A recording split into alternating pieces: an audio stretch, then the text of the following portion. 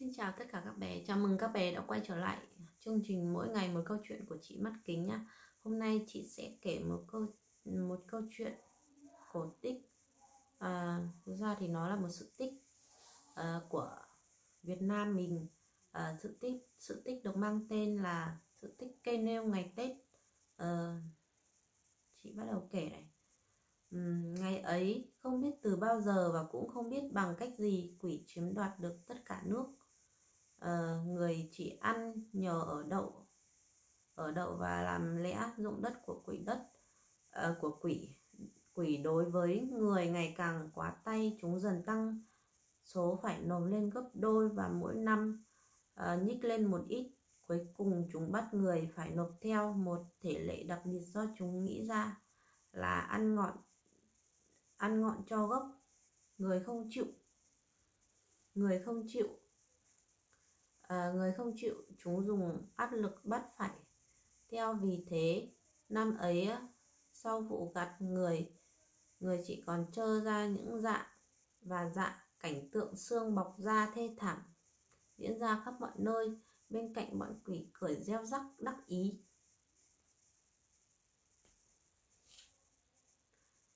Phật từ phương Tây lại có ý định giúp người chống lại sự bóc lột tàn nhẫn của quỷ. À, sau mùa đó, Phật bảo người đừng trồng lúa mà cào đất thành luống, trồng khoai lang. Người người cứ y lời làm đúng như lời Phật dặn. Quỷ không ngờ người đã bắt đầu có mưu kế chống lại mình nên cứ nên cứ nêu đúng thể lệ như trước à, như mùa trước ăn ngọn cho gốc mùa thu hoạch ấy quỷ rất không hậm hực nhìn những cánh khoai lang chạy về nhà người đổ thành từng đống lù lù. Còn nhà mình chỉ toàn những những dây và lá khoai là những thứ không nhai nổi. Nhưng ác lỗi thể lệ đã quy định chúng đành cứng họng không chối, chối cãi vào đâu ừ, chối cái cãi vào đâu được. Sang mùa khác quỷ lại thể lại có thể lệ mới là ăn gốc cho ngọn. Phật bảo, người lại chuyển sang trồng lúa. Kết quả, quỷ lại hỏng ăn. Những hạt lúa vàng theo người về nhà, còn dạ pháp dạ phó mặc cho quỷ quỷ tức lộn ruột, nên mùa sau chúng tuyên bố ăn cả gốc lẫn ngọn. Lần này quỷ nghĩ cho chúng nó, muốn trồng gì thì trồng, đằng nào cũng không lọt khỏi tay chúng tao nhưng Phật đã bàn với người thay đổi giống mới. Phật trao cho người hạt giống cây ngô để để gieo khắp nơi, khắp nơi mọi chỗ. Năm ấy có một uh, năm ấy có một lần nữa, người sung sướng trông thấy công lao của mình không uổng. Trong nhà người trong nhà người thóc ăn chưa hết thì từng gánh ngô đã tiến về chưa từng cót đầy nắp ấm về phần quỷ lại lại bị một vố cay chua uất ức. Hàng ngày uất ức hàng ngày mấy ngày liền cuối cùng quỷ nhất định bắt người phải trả tất cả ruộng đất không cho làm rễ nữa. Trong bụng chúng nghĩ ta không ăn được cái gì cả còn hơn để chúng nó ăn một mình. Phật bảo người điều đình với quỷ cho một tậu uh, cho tậu một miếng đất vừa bằng và bằng bóng một chiếc áo cà sa, nghĩa là người sẽ trồng một cây tre có mắc một chiếc áo cà sa trên ngọn. Trên ngọn bóng cà xe trên bao nhiêu diện tích ở mặt đất thì là đất của người sở hữu đó. Ban đầu quỷ không thuận, nhưng sau đó chúng suy tính thấy đất tậu ít mà giá rất rất hời, bèn nhận lời. Ồ, bằng chiếc áo cà sa có và có là bao nhiêu? Chúng nghĩ thế hai bên làm tờ giao ước, ngoài bóng tre là đất của quỷ, trong trong bóng tre là đất của người.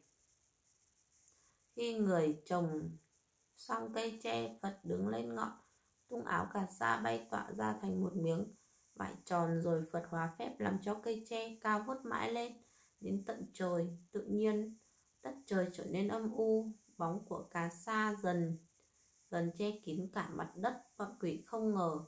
Sự phi thường đến, có sự phi thường đến thế. Mỗi lần bóng áo cả xa dần dần vào đất của chúng chúng lại chúng lại phải dắt nhau lùi lùi lùi mãi lùi mãi. Cuối cùng quỷ không có có đất ở nữa, phải chạy ra biển đông. Vì thế người ta mới gọi là quỷ đông tiếc vì đất đai hoa màu đều thuộc về tay người quỷ rất hậm hực. Cố chiêu, tập binh mã vào cướp lại. Lần này người phải chiến đấu với quỷ rất gây go vì đội quân của quỷ có đủ một bầy ác như, ác thú như voi, ngựa, chó, ngao, bạch xà, hắc hổ, rất hung dữ. Phật cầm gậy tầm xích đánh cho chủ, đánh giúp người làm quân của quỷ không tiến lên được sau mấy trận bất lợi quỷ bệnh cho dân đi dò xem phật sợ gì.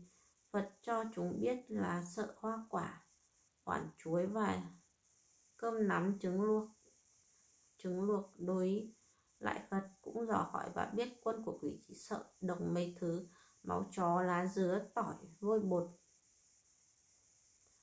Lần dắt chiến sau đó, quân của quỷ đem không biết bao nhiêu cơ ma là hoa quả ném đến Phật. Phật bảo người nhặt làm lương ăn làm lương ăn rồi đem máu chó vẩy khắp nơi. Quân của quỷ thấy máu chó, chó sợ hoàng hồn bỏ chạy. Lần thứ hai quân của quỷ lại đem quả chuối vào ném vào quân Phật. Phật Phật người nhặt lại làm lương ăn rồi giã tỏi phun vào quân địch. Quân ờ, của quỷ không chịu được mùi tỏi nên cũng cắm đầu chạy biệt tích. Lần thứ ba quân của quỷ lại đem cơm nắm trứng luộc vào ném quân Phật người tha hồ ăn và theo Phật, dùng vôi bột vung vào quỷ người, lại lấy là dứa cút vào chúng, quỷ chạy không kịp, lại bị Phật bắt đầy ra biển đông. Ngày quỷ già, quỷ trẻ, quỷ đực, quỷ cái, cuốn gói ra đi bộ dạng của chúng, vô cùng thiểu não. Chúng dập đầu sát đất, cố xin phật. Thương đình tình cho phép một năm được hai ba ngày vào đất liền thăm phần mộ của tổ tiên cha ông ngày trước. Và thấy chúng khóc vắng cả lên mới thương hại hứa cho. Vì thế hàng năm cứ đến ngày tết nguyên đán là ngày quỷ vào thăm đất liền.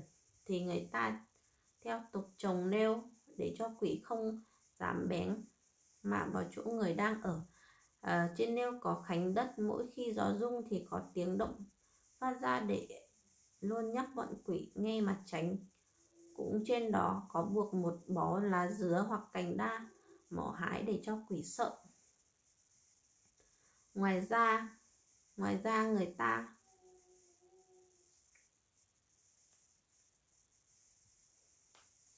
Ngoài ra người ta còn vẽ hình cung tên hướng mũi nhọn về phía đông và rắc vôi bột xuống đất à, vào những ngày Tết để cấm cửa quỷ.